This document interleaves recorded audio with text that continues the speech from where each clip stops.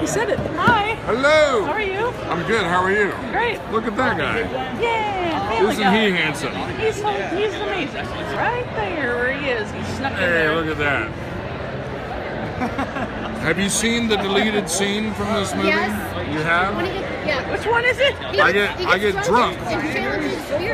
Oh. I get Yeah. drunk. I Oh, no, challenge wait, Yeah, I saw the whole thing. And then I say? pass out. And like Videl comes over and is like, oh, Dad. And I'm like, "Ugh." I say, uh, Videl, go get me a cheeseburger. I'm not in the next one. Not at all. Not I'm at trying all. to think. There's a statue of me. Yeah. That's it. That counts.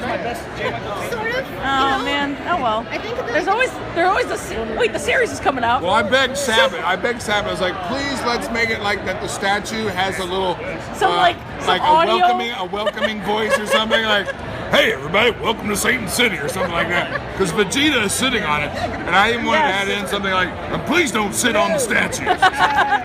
That's awesome. Thank you. But he didn't let me do it. What the heck, Vegeta? Jeez. I know. Ah, Blame good. Sabat. I can't blame him. He's kind of a jerk anyway. The guy. No, But his, Vegeta's my favorite, so I can't. uh, It's Booby. hard. Who wrote Boobies? Roshi did. Master Roshi. Oh, well, of Well, I was wearing the shirt too at the time, so I'm like, My Yeah. good old Mike. unless you're I'm kind of excited the most that I met you. Oh yeah. I love Mr. James. He's so weird and quirky. I love it. Thank you very much. That's what we were going for.